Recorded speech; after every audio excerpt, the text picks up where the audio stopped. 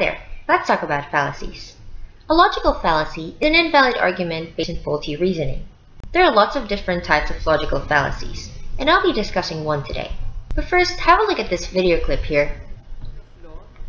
Pero meron din tayo mga rules ngayon na dapat ay sinunod. Siguro maganda sanang pahiwatig ang paggalang din sa batas at paggalang rin sa mga naging regulasyon. Pero para sa akin, importante na sana nakadalo siya sa Senado para mag-explika rin ng kanyang punto kung wala naman talagang tinatago. Alam mo, pinag-uusapan natin ang rule of law, ha?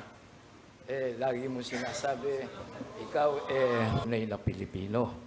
Ha? Oto. Paano ka magiging tunay na Pilipino? Eh, sumumpa ka ah, na maging Amerikano at yung mag-a-abjure ka, ikinahihiya mo ang pinanggalingan mo. Paano mo nasabi na kinahihiya? Unang The clip was taken from the second presidential debate.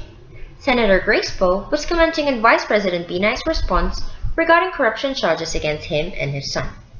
In her statement in the clip, the senator indirectly questioned the integrity of her opponent when it comes to abiding by the rule of law, that is, regarding corruption.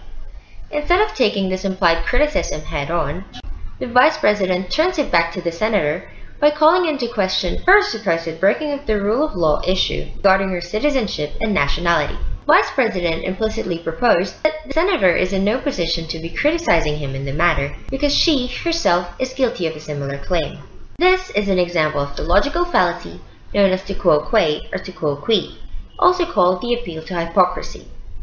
The usual structure of the fallacy goes like this. A certain person A makes claim X about person B. Person B then points out that claim X is also true for person A.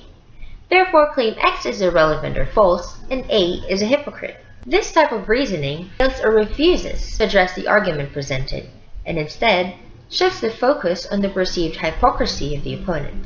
Whether or not person A is guilty of claim X should be irrelevant to the validity of her argument.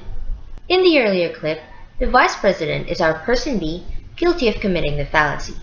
He not only managed to dismiss the claim against him, but also successfully derailed heat of the debate towards his opponent.